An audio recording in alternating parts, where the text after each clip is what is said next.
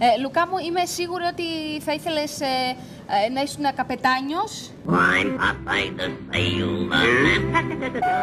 Είναι πολύ πήγαινε το ε, Θα σου πήγαινε το να είσαι ναι, ναι, ναι, καπετάνιος. Είχα κι εγώ ένα όνειρο το οποίο δεν έγινε πραγματικότητα. Ήθελα πάρα πολύ να γίνω χορεύτρια.